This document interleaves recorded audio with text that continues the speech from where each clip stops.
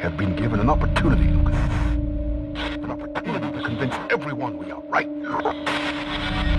But they're like. These people are animals. All of them. That's not is we. It's not just on the other side. It's come here. To our home. We must defend it.